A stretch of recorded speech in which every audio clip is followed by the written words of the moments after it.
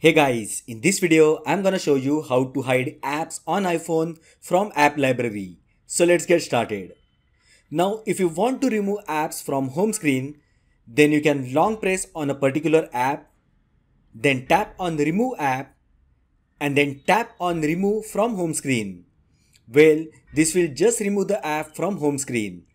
But if you check in the app library, then you will find that app in the apps library. Now if you wish to remove the app from library as well, then first open settings app on your iPhone.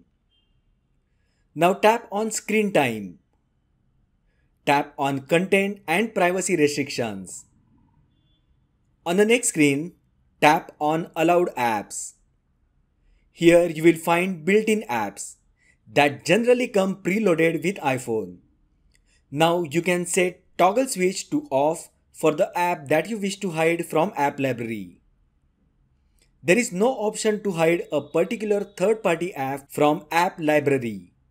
Instead, you can hide third-party apps based on age restrictions.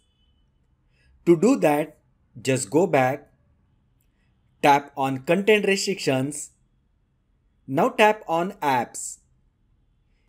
Here if you set 9 plus, then only those apps that are suited for the users over 9 years will be displayed in app library. If I check Facebook app, which is suitable for over 12 years, will be hidden.